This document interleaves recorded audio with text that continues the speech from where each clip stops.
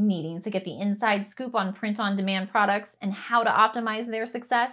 Today, we're going to take a look at a powerful research and optimization tool called Merch Informer. Merch Informer helps you find profitable niches, research trending designs, check trademarks, and optimize your listings for better visibility on platforms like Merch by Amazon, Redbubble, and other print on demand sites. I myself have dabbled in creating print on demand products, but it's always difficult to know if they're going to be successful or not. So, Merch Informer is a great tool to help you generate ideas too, to see what kind of products are having the most success.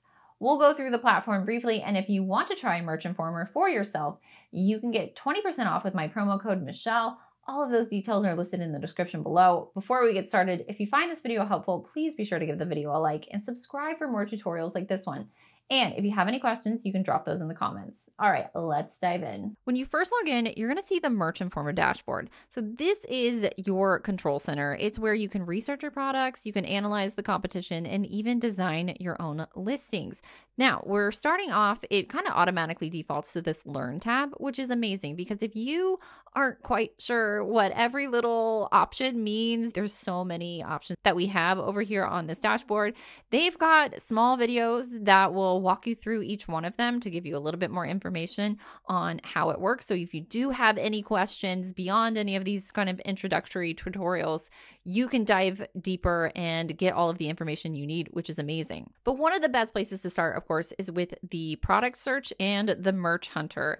These tools are going to show you what's selling on Amazon merch right now the best performing shirts, hoodies, and more. So I'm going to click on product research over here, and then I'm just going to do a product search here. So a super easy way to get started would just be to type in some keywords. You get to choose your marketplace over here, and then you can choose a category. So whether we're just looking for specifically merch by Amazon shirts, we could also open it up a little bit more, and there's some other products that we could research. So one thing we could do is just type in Halloween since we are in spooky season at the moment. And then if I hit search, I'm going to see all of my results data display below. So I will start to see what kind of shirts are out there. So this is going to pull in all of those results. You're going to get that BSR ranking number and the estimated number of sales. You'll be able to see the ASIN number, the price associated with it, reviews, and how many ratings that each of these have. So you'll be able to get some ideas over here on the right hand side too. We also have related keywords that are a little bit more specific and the search volume. So Halloween is very sort of generic. It's obviously popular right now just because we are in that season, but because it's so generic, you might find it uh, really hard to kind of get to the top of the pack unless it's very specific. But if I come over here to Merch Hunter, and I want to get a little bit more results of like what are the top sellers right now. And I can continue on with the top 100, the US, uh, and then the merch by Amazon shirts. I don't have to even put a keyword in here, it is optional. So if I just want to click and see what products are actually doing the best, I would hit search. And this could help me generate some ideas if I have absolutely no starting place.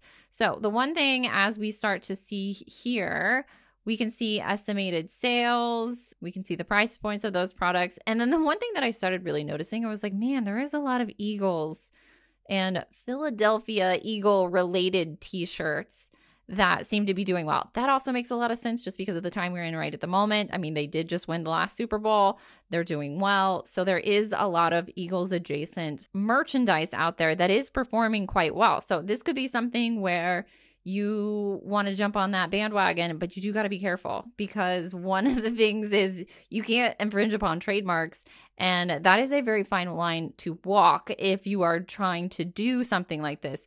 Even them making a reference to Philadelphia Eagles in their descriptions could be a little bit dicey. Just gonna scroll back up to the top there. And if you do want to get just a little bit more specific, you can dive deeper. You can kind of move these sliders around and really try to zone in on what the top products are. This is just really going to help you be able to spot trends before everyone else is jumping onto the bandwagon.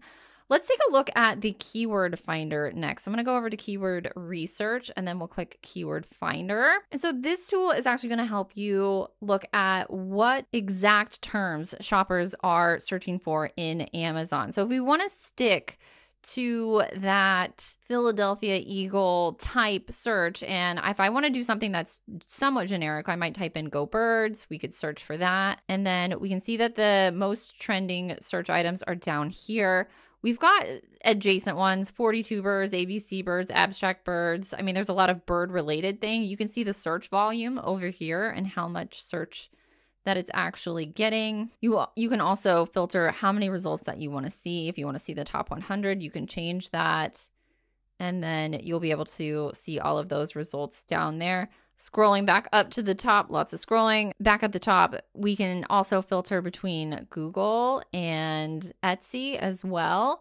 So we can kind of see what the cost per click is that, how high is the competition, what the Google search volume is. If you want to filter between that, you can click on one of these titles and it'll reorder the list there. So if you want search volume, birds, obviously that really generic. So that search volume is going to be super high. But this can also really help you generate ideas on if you do have an idea for a product, is it going to be something that other people want? Is are people actively searching for it? Keyword Finder is going to help you make that determination. Ideally here, you just want to make sure that we're we're seeing we want to find things that do have a high search volume. We don't really want a high competition score and anything that's keyword related might also help you spark other ideas. So we just want to focus on those keywords that get consistent searches but don't have a ton of competing designs. And that's going to just make your listings easier to discover and it's going to help you avoid getting buried under thousands of results. Now, another huge feature here is the trademarks over here. If I go to trademark alerts, I have the ability to enter in any keyword phrases that I want to check. If I type something in just as simple as go Eagles, I can hit save. We'll see that it gets listed below, but then I do need to click this blue check trademarks button to see if there is anything. It may take just a little bit of time to go through that process. Other things to note is that I've obviously checked a couple of other items and they are not safe. You know, even the Go Birds is not safe. There is some a trademark out there associated to it. It may not be specific to like t-shirt designs, but it's just saying that there is something out there that exists. So it's kind of casting a wide net. It does have some classifications over here, and there is this trademarkia check that you can click this and it's going to open up another window and it's going to have a little bit more information on what is actively trademarked at this moment. You'll also be able to see the classifications there as well. It's just because one of the biggest mistakes that beginners make is using phrases or words that are trademark. Merch Informer's trademark checker is going to help you avoid that by quickly scanning your phrases across multiple databases, and it's a must use step before uploading any new design so that you're not getting a strike against your account. And speaking of uploading new designs, Merch Informer actually has a design tool that if you don't know how to create, if you don't have the software to create your own designs or you're not sure of how to get started, on that, they do have a wonderful tool. It's in the external services. You can go to Merch Designer. It's going to open up a new tab and you can kind of see that it's prompting a few things here. So if we wanted to do a t shirt,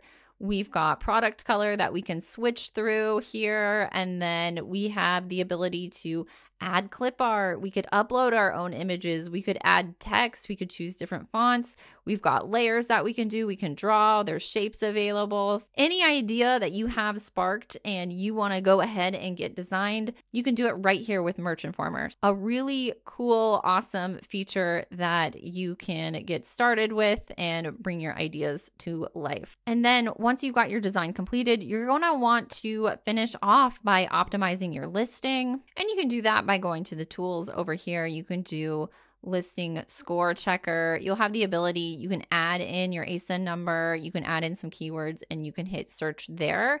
And you can get more information on how your listing scores and what improvements that you might need to make on that. Merch Informer really streamlines the print on demand process from research to design to optimization. It's like having your own virtual assistant for Merch by Amazon. So if you want to give this a try, do not forget my promo code is Michelle for 20% off of your subscription. All the links and the details are going to be listed in the description below. I hope you found this tutorial helpful. Give that like button a tap and subscribe if you want to see more tutorials like this one. Until next time, thank you so much for watching and I'll see you in the next video.